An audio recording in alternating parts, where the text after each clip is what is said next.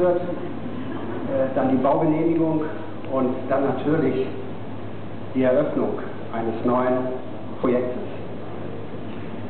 Ja, was dürfen Sie von, von mir jetzt hier heute erwarten? Ähm, ich denke, dass ich was zur Architektur sage. Aber in diesem Projekt geht es nicht nur um die Architektur, sondern es geht natürlich auch schon, wie Herr Malik eben sagte, um Nachhaltigkeit. Was ist denn eigentlich anders an diesem Markt, an dem, was Sie normalerweise von Supermärkten in Deutschland kennen? Diese Frage haben wir uns, nachdem wir den Auftrag hatten, auch gestellt. Ähm, und wir haben uns überlegt, dass mit einer neuen Botschaft, mit einer Botschaft der Nachhaltigkeit auch ein neues architektonisches Konzept verbunden sein sollte der Kunde, Sie ähm, und auch die Passanten und die Nachbarn sollen spüren und nicht erklärt bekommen, sondern spüren, hier ist etwas anderes, hier ist ein nachhaltiges Konzept. Und Nachhaltigkeit ist nicht etwas, was die Neuzeit erfunden hat, das ist etwas, das es schon seit vielen Jahrhunderten gibt. Ähm, und deswegen haben wir auch ein bisschen in die Geschichte geguckt und haben gefunden, dass es früher so tolle Markthallen gab. Ja, in vielen Städten Europas äh, und auch in der Welt insgesamt gab es früher Markthallen. Das waren große, flexible Gebäude, die ins Stadtbild passten, die dort auch sofort als Markthalle erkannt wurden. Da brauchte man kein Schild dran schreiben, Markthalle. Ähm, jeder hat das erkannt. Und dort haben sich die Händler getroffen, haben dort ihre Waren angeboten. Das war eigentlich die, eine der entscheidenden Ideen darauf Bezug zu nehmen mit einem modernen Konzept. Aber wie kann man nun das Thema Nachhaltigkeit transportieren? Da kann man viel drüber reden, man kann viel lesen, man kann viele Berechnungen vorlegen. Ähm, wir haben gesagt, ja, was ist eigentlich so typisch in Deutschland für Nachhaltigkeit?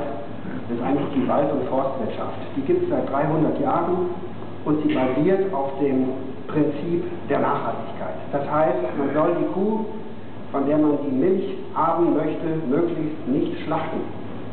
Ähm, das heißt, man soll also ein System nur so weit nutzen, äh, dass das System dadurch keinen Schaden nimmt. Und das ist in deutschen Wäldern und auch in vielen anderen Ländern seit vielen, vielen Jahren und Jahrhunderten, kann man fast sagen, der Fall.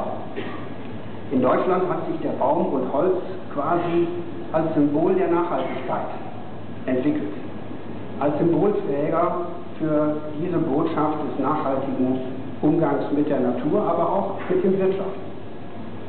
Und deswegen haben wir uns hier zusammen mit Rewe für Holz entschieden, als die, ich sage das mal symbolisch, tragende Struktur der Nachhaltigkeit und der Rewe. Und das sollte sichtbar sein.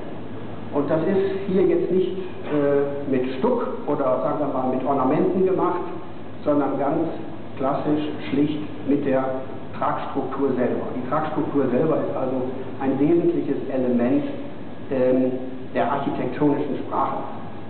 Und dann kommt das zweite Element hinzu, das ist das Tageslicht. Auch das ist äh, höchst ungewöhnlich in den meisten Supermärkten und ist äh, mit dem Rewe Green Building, was wir als Pilotprojekt vor drei Jahren äh, nicht nur entwickelt, sondern vor drei Jahren dann äh, entstanden ist, äh, erstmals dann auch bei Rewe in, ich denke, ganz überzeugender Art und Weise gelungen. Ähm, hinzu kommt natürlich auch eine ganze Menge an innovativer Technik. Es geht um Energieeffizienz. Ein solches Gebäude verbraucht deutlich weniger Energie als die Vorgängergeneration, Größenordnung um die 50 Prozent. Das ist eine Hausnummer bei den heutigen Energiekosten. Das kann bei einer Marktgröße wie diesem gut und gerne auch im Jahr mal 100.000 Euro ausmachen. Ähm, was ist noch besonders an diesem Gebäude? Das ist seine Drittverwendungsfähigkeit. Also dieses Gebäude kann auch nach vielen Jahren der Nutzung als Rewe-Markt durchaus mit anderen Nutzungen bespielt werden. Die Bauweise ist relativ flexibel, an verschiedene Standorte anpassbar und passt, wie wir mit Rewe zusammen meinen, in Stadt und Dorf. Ähm, auch das ein wichtiges Argument für eine neue Generation, die einen Wiedererkennungswert für die Marke Rewe haben soll. Ähm, man kann also sagen, das Gesamtkonzept ist anspruchsvoller, nicht nur architektonisch anspruchsvoller, es ist auch ökologisch deutlich anspruchsvoller und auch ökonomisch anspruchsvoller, weil die Lebenshaltungskosten oder die sogenannten Lifecycle Costs für eine solche Immobilie sind deutlich attraktiver als das, was man bisher realisiert hat.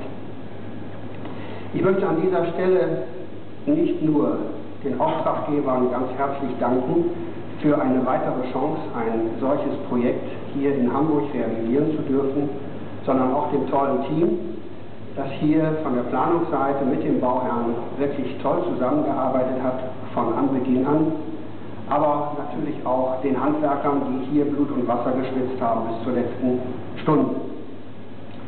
Das ist bei kurzen Bauzeiten von nur einem halben Jahr eine stramme Leistung und äh, dem äh, müssen wir alle Respekt zollen, denn das passiert unter Wind- und Wetterbedingungen und nicht in geschützten Büros.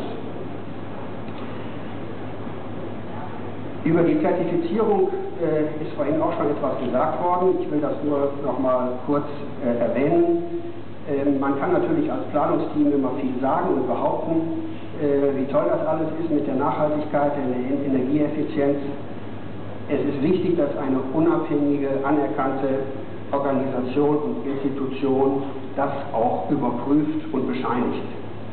Ähm, deswegen ist es ganz toll, dass es der Rewe gelungen ist, ähm, eine sogenannte Masterplan-Zertifizierung zu erwirken, äh, die den großen Vorteil hat, dass Standards festgelegt werden und dass für, für die Investoren und für zukünftige Märkte auch die Kosten dieser Zertifizierung erheblich reduziert sind. Alle Märkte dieser Art werden in Zukunft zertifiziert. Das ist in der Musterbaubeschreibung, ähm, die als Basis für weitere ähm, äh, Projekte dient, äh, so festgeschrieben. Aber durch die Master-Zertifizierung sind eben die Kosten dafür deutlich reduziert. Und wie vorhin schon gesagt wurde, ist es auch nicht so, äh, dass man hier alles mit Blattgold belegt hätte. Die Kosten für dieses Gebäude sind in der Tat nur unbedeutend höher als für das, was man früher gemacht hat. Und wenn man bedenkt, was man an Mehrwert dafür bekommt, nicht nur zum Zeitpunkt der Fertigstellung, sondern insbesondere für die gesamte Lebensdauer, dann denke ich, ist das sehr bemerkenswert. Damit leistet nicht nur Rewe, sondern auch das Team, alle, die daran mitgewirkt haben und alle diejenigen, die hier äh, in Zukunft arbeiten werden, zusammen mit den Kunden, eigentlich einen wichtigen Beitrag zur Unterstützung von Nachhaltigkeit und wir denken, dass es in Zukunft eigentlich gar keine Alternative mehr zum nachhaltigen Bauen gibt. Wir müssen die CO2-Bilanz deutlich verbessern. Und da gibt es nur einen Weg. Die Gebäude, die wir planen und nutzen und umplanen und umbauen, müssen nachhaltig sein. Ja, ich möchte Sie eigentlich alle auch begeistern für das nachhaltige Bauen. Ähm, wir freuen uns sehr, wenn es weitere Töchter und Söhne dieser neuen Generation gibt und nachhaltiges Bauen äh, bei Rewe nicht nur hier in der Region, sondern in ganz Deutschland ähm, weiter auf dem Vormarsch ist. Ich äh, darf mich ganz herzlich bedanken nochmal, wünsche Ihnen auch hier ähm, schöne ähm, Eindrücke. Wir stehen auch an verschiedenen Infoständen für Sie äh, heute noch äh, zur Information bereit und würden uns freuen, wenn viele die Chance wahrnehmen, ähm, sich bei uns zu informieren. Herzlichen Dank.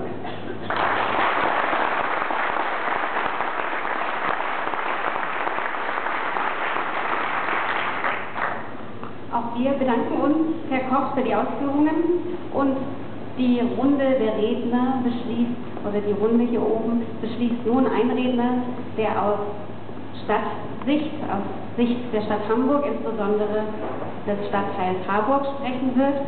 Ich bitte herzlich Bezirksamtsleiter Thomas Pölz auf die Bühne und freue mich, dass ich sozusagen den grünen Abschluss hier oben sehe.